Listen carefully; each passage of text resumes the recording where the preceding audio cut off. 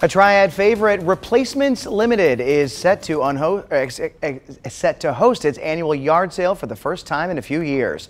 If you don't know about Replacements, the company's website lists it as the world's largest retailer of china, crystal, silver, and more. WFMY News' Jalen Kilkey learned more about a huge turnaround expected in the sale. Yeah, ever since 2019, Replacements Limited has been unable to hold their premier yard sale event due to the COVID-19 pandemic. However, this month, the famous yard sale is back and it should be bigger and better than ever.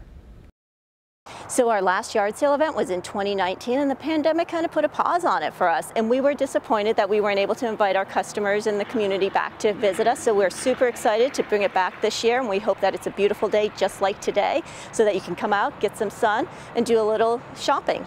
So here's how it works. Visitors pay $5 to get in, then you pay $10 per 12 by 12 inch box. Now, you can fill as many boxes as you like with whatever you find on the hundreds of tables of precious pieces. Over the course of the years, we collect pieces that may be seconds and things of that nature that we pull together and we keep to the side to specifically save for these events where we bring in our community to show them and let them enjoy the thrill of the hunt.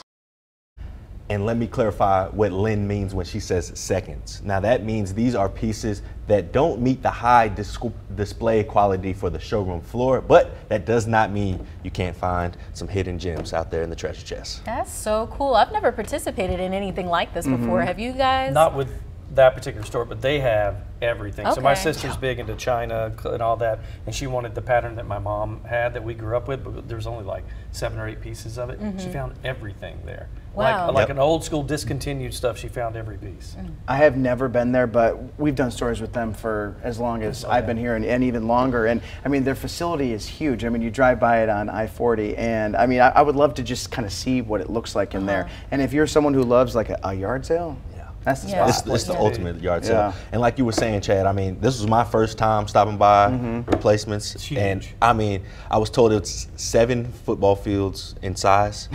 and I mean, they have a warehouse that is never ending. I walked through there and I was like, oh, we're still going. I know. I mean, it's rows. Of, it's like two, three Home Depots it is, it put is, together. At least. Unbelievable. On top. And I can't get over how they have everything organized correctly, you oh, know, and like perfect. massive amount. Can you get like furniture and things of that nature too? No, it's outside all, of you know like kitchen appliances. Could you I'm get like pretty, a kitchen table? Pretty sure it's just is not it just china? So it's they have china, silverware. They also have jewelry pieces, oh, glass nice. pieces, stuff like that. But I, I, was just so nervous when I walked in the door. Like when you hit the door, you know, uh -huh. like uh-huh. okay. Like Don't everything stay right here, right. shoulder width, can't bump anything, so can't true. break anything. It's the ultimate bull in it, a china shop. Yeah. Oh, yeah. Absolutely.